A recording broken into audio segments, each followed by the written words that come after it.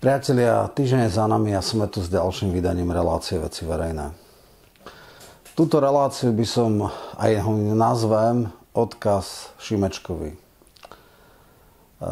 mnohí ste ma upozornili na to a dávali ste mi výzvy, aby som na to reagoval, čo samozrejme urobím na absolútne absurdné e, obvinenia podpredsedu parlamentu a predsedu PSK Šimečku o tom, že ja som vraj dostal nejakých 700 tisíc z fondov a podobne. Najprv chcem povedať zo pár vecí, aby bolo jasné. V politike e, nie je racionalita. V politike e, to schytávate zľava správa väčšinou, absolútne väčšine prípadov neprávom. Fakty sú častokrát to posledné, čo politikov zaujíma. A ja s tým nemám problém v zmysle, že by som eh, bol z toho nejaký skormútený alebo niečo také, ale chcem dať odkaz pánovi Šimečkovi v nejakých troch alebo štyroch rovinách. Tak tá prvá rovina. Ja som politik, ktorý sa snaží veci riešiť vecne, nie osobne. Eh, až na malé výnimky, kedy som naozaj že vyprovokovaný neskutočnou sprostotou eh, niektorých olajňákov, tak eh, idem po veci, nie po osobách. A pán Šimečka si mohol všimnúť, že pri všetkých tých pseudoargumentov a argumentoch, ktoré tu napádali, že kto koľko berie a tak, ja som sa do toho nezapája, lebo viem, že je to komplikovanejšie a zložitejšie a že to nie je také akože na prvý plán. A troška ma prekvapilo, že mňa Samuela Miguela si zobral na mužku e, a to ešte tak absurdným spôsobom, že poprel samého seba. Takže poďme k e, meritu vec. Ešte takto, aby bolo jasné. Ja v žiadnom prípade to na nedaj Bože nevyplakávam. Nie som skormútený, že e, na mňa absolútne mimo akejkoľvek reality útočí a že používa absolútne falošné argumenty alebo teda totálne zavádza rozumej klame. No, e, vrátim sa troška k jeho tlačovke a tá jeho tlačovka bola asi v tom zmysle, že existuje nejaká nadácia Milana Šimečku, teda jeho detka a že vlastne on s ňou nič nemá. A, a je tam akurát teda v správnej rade jeho strýko a vlastne on iba dopláca.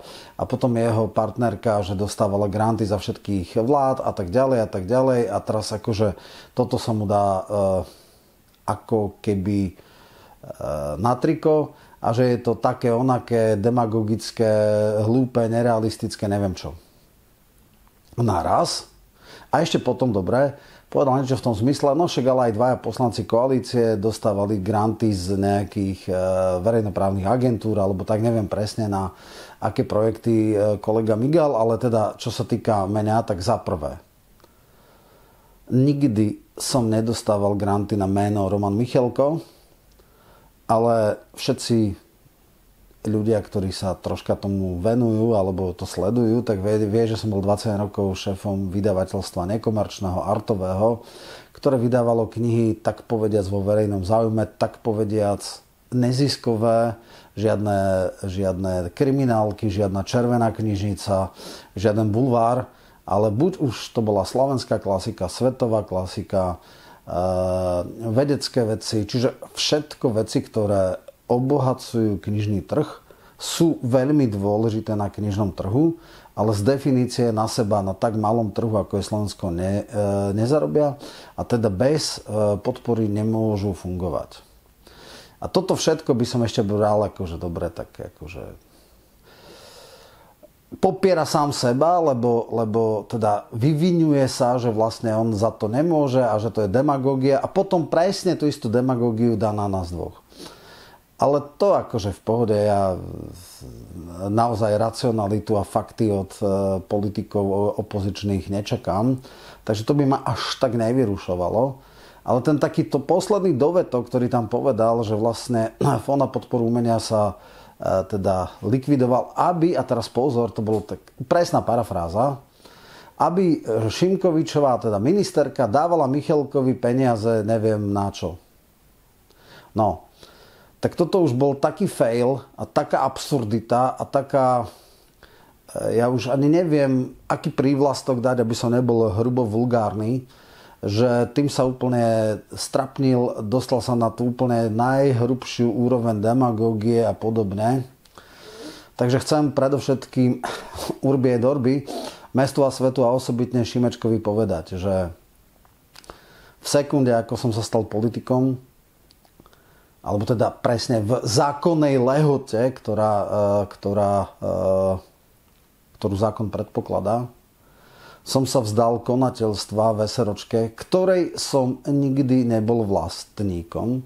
Čiže ak niekedy aj v minulosti išli dotácie, tak nie na Michalka, ale na SROčku, ktorej jediným spoločníkom bolo občianske združenie, najväčšia, najväčšia spisovateľská organizácia. A teda išlo to nie na mňa, ale na projekty, ktoré podporovala alebo ktoré posudzovala e, komisia e, FPU od roku 15. Neviem, skáďal mal od roku 11, lebo tam už štatistiky nie sú. Do roku 11 bol nejaký štátny fond, takže neviem, skáďal si to vycúcal. A samozrejme, chcem ešte povedať jednu vec, že on tam asi spojil spolok a e, vydavateľstvo, čo sú samostatné subjekty. Spolok vydával aj vydáva, aj keď veľmi biedne, teda za biedných podmienok, literárny týždenník, čo je periodikum. A aby ste teda vedeli, tak jeden príjimateľ môže v priebehu troch rokov dostať najviac 200 tisíc eur, čo znamená nejakých 66 tisíc niečo Eh, ročne. A áno, boli roky, kedy sme to presiahli, kedy sme mali toľko zaujímavých projektov a častokrát a väčšinou to bolo za, za vlád, ktoré nám neboli eh, priaznivé, že sme aj prekročili a potom ten tretí rok sme už potom museli redukovať. Takže vymýšľali sme veľa e, zaujímavých vecí, oceňovaných vecí, veci, ktoré eh, literárna kritika eh, vysoko hodnotila, dávali nám najvýznamnejšie, najprestižnejšie ceny, či už pri debutoch ceny Kráska, alebo pri prekladoch, umeleckých prekladoch ceny Holého, alebo pri vedeckých prekladoch ceny Mateja Bela. Čiže, čiže naozaj si dovolím tvrdiť, že som pre slovenskú literárnu scénu urobil veľký kus práce a dávať takéto absurdity je úplne e, akože mimo. No a teraz e, teda v čase, kedy som v politike, nikdy až žiadnu dotáciu brať nebudem. Ani ja, ani žiadna teda mne spriaznená alebo mnou vlastnená spoločnosť. Jednak preto, že žiadnu nemám E, jednak preto, že, že teda som si pozastavil živnosť aj, aj konateľstvo e, v tejto SROčke. A teda nič nepríjmam. A teda ministerka nemôže nikomu nič, alebo teda určite nie mne, môže, mne nemôže teda nič prihrať ani, ani dať. Jednoducho je to hrubozrná, nie že demagogia, to je vyslovená lož. A ja neviem, videl som tam Zoru Javrovú, ktorá teda tvrdo kritizuje kroky e, ministerstva a všetko možné, ale zatiaľ som vždycky oceňoval, že bola vecná a nebola osobná. Tak ja neviem, asi nebola celkom nadšená, dúfam teda, z toho, čo vystrája jej šéf, ale e, vybral si veľmi zlý terč. Veľmi zlý terč, ľahko vyvrátiteľný, a viete, to je úplne, on teda nakladá, vyvinuje sa a nadáva na Fica, na všetkých, že ako e, dáva ľahko vyvratiteľné lži, ale však on klame, ale že neskutočne. A tiež ľahko vyvratiteľné. No a teraz sa vráťme teraz e, k tej poslednej veci, lebo toto bol naozaj, akože to bol prešľap ťažko cez čiaru. Takže, e, ako som povedal, ja nikdy žiadne granty, ja ako osoba Dostávať nebudem, nebudem o nich žiadať. Nesom v žiadnej SROčke. A to, čo povedal, je nie, že demagogia, to je vyslovená lož. Druhá vec, reformoval sa fond na podporu umenia. Teda ani ministerka nemá kompetencie dávať niekomu uh, dotácie. Môže to robiť vo výnimočných prípadoch. Teda vo všeobecnosti to budú robiť komisie, ktoré stále majú poradný orgán, a pokiaľ, ktoré sú poradný orgán fondu a ktoré pokiaľ budú troška príčetné, troška objektívne, tak nikto nebude mať e, problém s tým, komu e, a na aké projekty dávajú, pokiaľ tie projekty budú kvalitné a budú, bude možné si obhájiť e, tento krok. Prečo bola nevyhnutná reforma fondu? Preto, lebo nešlo vôbec o objem peňazí, ale o konkrétne tituly.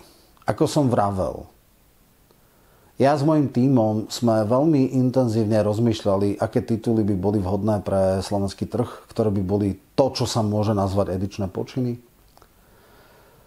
Spracovali sme ich častokrát veľmi kvalitne a častokrát nám komisie dali e, na kvalitné veci, ale aj priemerné a podpriemerné dosť veľké dotácie v zmysle, že keď tam máme 35 projektov, no tak sa to na, na, naskladá. A samozrejme za tých, e, teda ja som v roku 2003, ale ja neviem, skaďal od roku 2011 vyšiel, tak to boli, boli problémy. A v čom bol problém? Ja som x krát, x krát povedal, že som nemal problém s tým, koľko titulov bolo podporených, ale extrémne ma frustrovalo, že tie najkvalitnejšie projekty častokrát neboli podporené a priemerné a podpriemerné, napríklad ten, z ktorého som citoval, boli podporené. A boli podporené na úkor tých kvalitných. A preto som hlboko presvedčený, že je nutné dať korekčný mechanizmus kompetentných, rozhľadených a inteligentných ľudí, ktorí takéto excesy, a tých excesov bolo veľa, môžeme o nich hovoriť, Môžeme hovoriť o, o tom, keď bol 80. výročie Trenčiansko-Teplického zjazdu spisovateľov, že nejaký trapný e, článok v pravde znamenal, že sa brutálne krátila podpora pre ten projekt, teda už ex post a robilo sa to veľmi podlo a zákerne.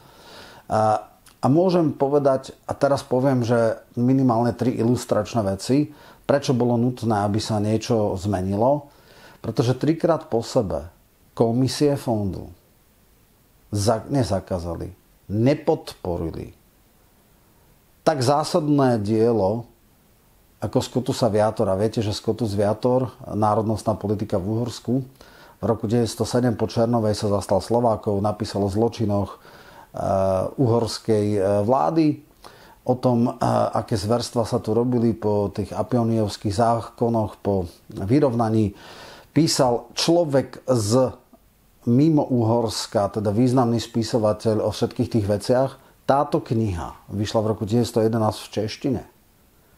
V slovenčine je preložená a aj vydaná ako interný dokument jedného občianského združenia. Nikdy však nebola v distribúcii, nikdy ju žiaden človek normálne v obchode nemohol kúpiť a vlastne je nedostupná. Je to obrovská chyba, je to obrovská e, teda trauma pre mňa, že takýto zásadný text nie je a 4 alebo 3 krát nám to odmietli. Pre Boha prečo?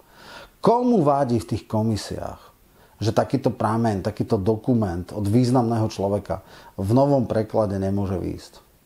No, tak toto bolo jedna. Druhá, čo som už hovoril, Najvýznamnejšia Slovens- slovakistka na Slovensku písala o slovenských literárnych veciach, o mesianistoch, o Horobonovi, o e, Hodžovi a, a vlastne Štúrovcoch. Je to veľmi zaujímavý pohľad zvonku, ako nás vidia e, svetoví slovakisti.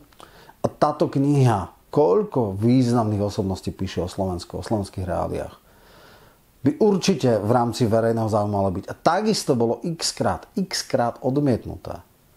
Ďalší, e, ďalšia prvá slovenská absolventka Sorbony, intelektuálka, žena s obrovským rozhľadom, na parížskej Sorbonne v roku 1912 obhájila doktorskú dizertáciu o štúrovej filozofii. Je vo francúzštine. Dodnes nevyšla. Komu toto vadí? Prečo takýto zásadný text? Čo ak, tak, ak nie takéto texty a takéto tituly majú byť podporné? Prečo nám to non-stop a že non-stop vracajú? Takisto ako napríklad ekvadorský zápisník Milana Rastislava Štefánika. Všetko, čo zaváňa troška národnou hrdosťou, všetko, čo zaváňa e, poznaním našich dejín, všetko, čo ukazuje napríklad na zločiny uh, uhorskej alebo maďarskej gentry a, a vtedajšej garnitúry, nesmie byť vydané, nesmie byť podporované. No toto sú veci, preto som vravel, že v poriadku. Druhá vec, veľmi dôležitá. Naozaj tam sú klanové e, bratstva. Naozaj, ak ste v tej správnej partii, ak s prepáčením chodíte piť s tými správnymi ľuďmi, tak dostanete podporu na hociakú blbosť. Čokoľvek napíšete, dostanete. Nepotrebujete žiadne nespochybniteľné profesné autority, aby vám napísali posudky a tak ďalej. Jednoducho dáte to aj bez posudku, od, odmávajú vám to, máte isté. Máte to isté, nemusíte sa vôbec snažiť. Naopak, ľudia, ktorí nie sú, tak musia mať tých najlepších e, posudzovateľov, musia mať profesorov, musia mať e, špičkové autority a vôbec to ešte neznamená, že e, tú podporu dostanú. No poďme ešte k poslednej veci, ktorú teda verím a dúfam, že, že musí byť.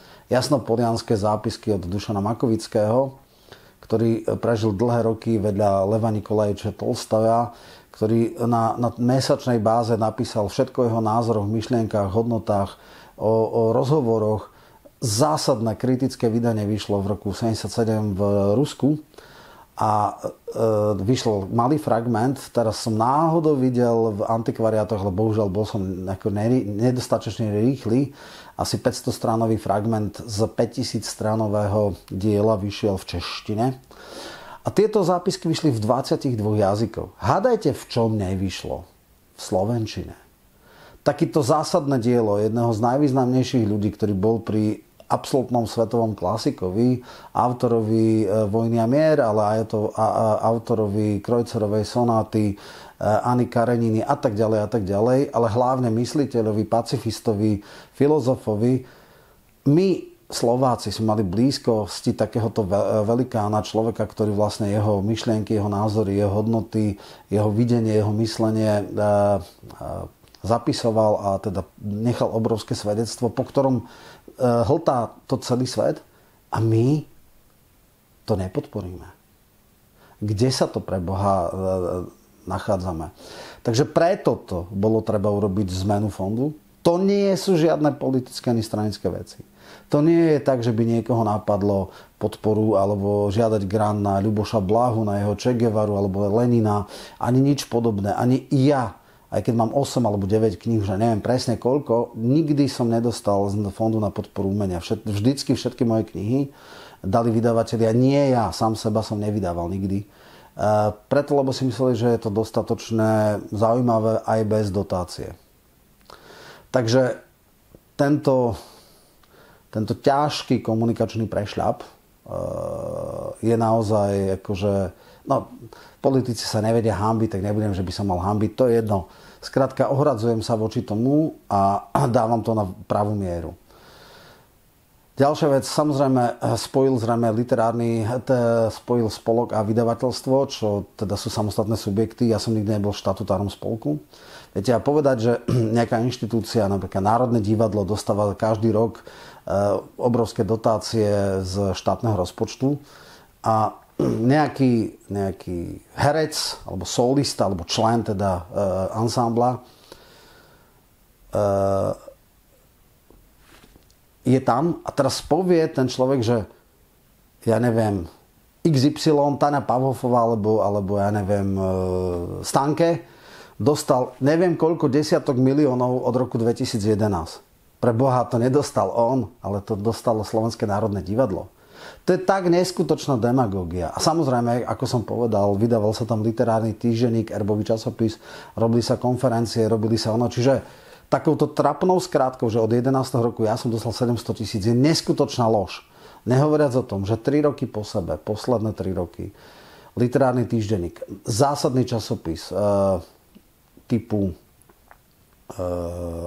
ako niekedy bol kultúrny život. V roku 1988 začal vychádzať ako perestrojkové e, periodikum najvýznamnejších slovenských intelektuálov. V 90 bol ako platforma pre dovršenie národnoštátnych túžob slovenského národa. Množstvo prekladov tam, bol to elitný, špičkový časopis. Naozaj ako š, veľmi, veľmi zaujímavé, veľmi zásadné texty tam vychádzali. E, Vladimír Vinač tam, a celá vôbec elita slovenskej inteligencie tam publikovala. A tento už 3 roky nedostal ani cent. To je naozaj, že ja už ani nemám slov na to. Ale áno, keďže predtým vychádzali tak redakcia v podobné záležitosti, e, niečo stoja a, a od roku 11 boli rôzne časy, ale nie vždycky to, to mala pri kormidle, teda bola, bola vláda morskej lúzy.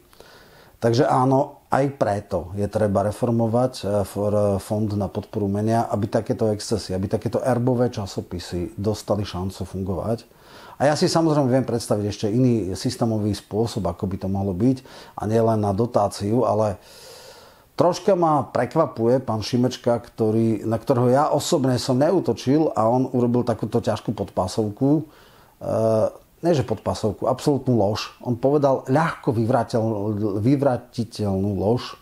Lož, ktorá nemá nič spoločné s realitou a je to jeho e, vizitka.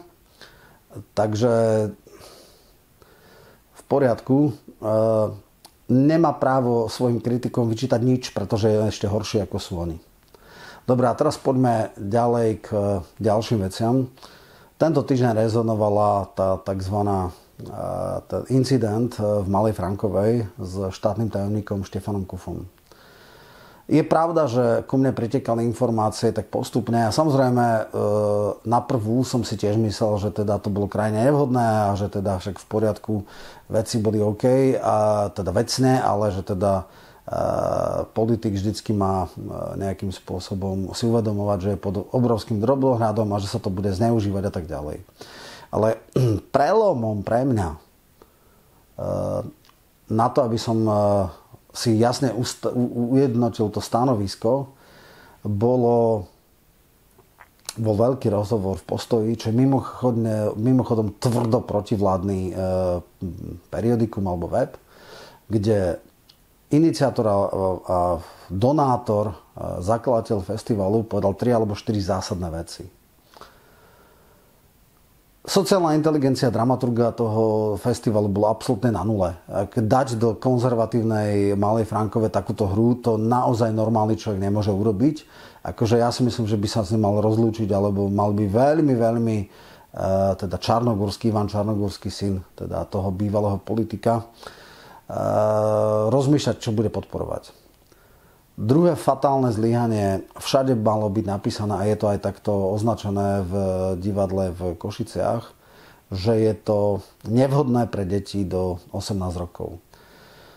To predstavenie, keď už to tam chceli mať, čo sa vôbec nehodilo, malo byť 20. hodine 20, 30, 21 a určite tam nemali byť deti. Sám Čarnogórsky povedal, že zo 30 ľudí odišlo ešte pred tým incidentom. Sám povedal, že to bola šialená divočina že len tak gúľal očami. Sám povedal, že Štefan Kufa sa snažil e, vyhľadať riaditeľa divadla a teda pokúsil sa ho nejak v dobrom povedať, že toto fakt nie. Ten už ale nebol tam. No a potom urobil len to, čo teda e, uznal za vhodné, že teda povedal, že preboha, ale deti preč. Sám organizátor Čarnogórsky, Ivan Čarnogórsky povedal, že to možno bolo už na hrane alebo aj za hranou, a, akože mravná výchova detí, že, že naozaj toto bolo krajne nevhodné. A či už starosta, alebo možno aj on to mohol povedať, že viete čo, toto sme naozaj neodhadli, prestrelili, prosím vás, deti, choďte preč. Zároveň tam povedal krásny príklad, že keby to nejaký kňaz z inej obce povedal, tak asi by to bolo vnímané inak. Ale samozrejme po, po teda výzve Štefana Kufu, aby odišli, tak začali, že fašista taký onaký, no a potom akcia, reakcia neprerástlo to nejakého úplne že ťažko fyzického incidentu, ale, ale samozrejme verbálne útoky tam išli a letelo tam všeličo. Takže fatálne zlyhanie organizátorom. Dúfam, že sa z toho e, poučia. A v tomto kontexte to vyzerá úplne inak, ako nám to predkladal mainstream. Takže ja samozrejme, keď... A som teda veľmi rád, že ten rozhovor vyšiel, však môžete si to, ale neviem, či post, postoj není platený, môžete si to nájsť. Takže je fajn, že teda naozaj povedali, ako to bolo v skutočnosti a v tomto kontexte sa to javí už úplne, ale úplne inak. Takže vybíjať z toho kapitál a potom všetky tie veci okolo toho, je to nechutné. Toto malo byť a je dobré, že, že vlastne Čarnogórsky sa z 90% dal viac menej na stranu Kufu. Mal by si spýtovať svedomie, že koho bude angažovať za dramaturga a aby sa takéto excesy už naozaj v budúcnosti neopakovali. Dobre, poviem ešte jednu vec, ktorá ma veľmi potešila a ukázala, aké zrudnosti a zvrhlosti sa diali Eh, David Linter, človek, bývalý šéf okresného súdu a veľmi vzdelaný, inteligentný, rozhľadený a kvalifikovaný teraz advokát, bol zbavený obvinenia pre hrubé, masívne procesné chyby, respektíve sudca špeciálneho trestného súdu vrátil to prokuratúre, pretože to, čo tam bola, je to zmôžka. Na 8 stranách je tam vymenovanie fatálne pochybenia. Skrátka, to, čo mu bolo kladené za vinu, je absolútny blav. Je to výraz extrémneho eh, premotivovanosti, hrubých pochybení. Viete, a to je následok toho, týchto, týchto čistiek, respektíve týchto hrubých krivení práva je to, že on bol 8 mesiacov, alebo možno aj viacej v kolúznej väzbe. A to je niečo neslýchané. Je fajn, že sa teraz toto robí. Je fajn, že boli konštatované hrubé procesné chyby. Som hlboko presvedčený, že vecná podstata obžaloby bola absolútne na vode. Že to išlo iba o primitívnu tupú pomstu. E, je šialené, kde zdegradovala naša justícia je to ďalšie memento a vykričník toho, že čo sa tu robilo v rámci OČTK. Samozrejme, podpísaná pod to bola Pamela Záleska, ona posielala všetky tie veci. Nedá sa tu reprodukovať 8-stránové rozhodnutie. Ono bolo aj zverejnené. Taká jedna krátka vetička na tri riadky. Viete, ale za tým je ľudský osud, za tým je 8 mesiacov e, v snahe lámať, dusiť, e, likvidovať. E, e, mnohí ľudia to neustáli, mnohí sa zlomili, mnohým sa rozpadli rodiny, zdravotne išli do, do, do, dole. To je, to je niečo neslychané. Toto sa tu dialo, teraz sa to pomaly postupne napravuje. Viem, že všetci hovoríte, malo to byť skôr, malo to byť už dávno a tak ďalej, len my nie sme ako oni. A to nie je, že, že, že sme slabší Práve, že my sme silnejší. Oni nemali argumenty, tak používal hrubú silu. My máme argumenty, preto to robíme pomalšie, ale trvácnejšie. Tieto veci už nikto nespochybní. Ak vydali sa takéto rozhodnutia, tak si za tým tí ľudia stoja a vedia ich vyargumentovať. Teraz dnes a denne sa ukazuje, aká šialená zvôľa tu vládla, aké hrvozy sa tu diali a už sa nebudú. Dobre priatelia, takže prosím vás, píšte, zdieľajte, lajkujte, dávajte si odber, je to veľmi dôležité, budem to čítať. Dovidenia.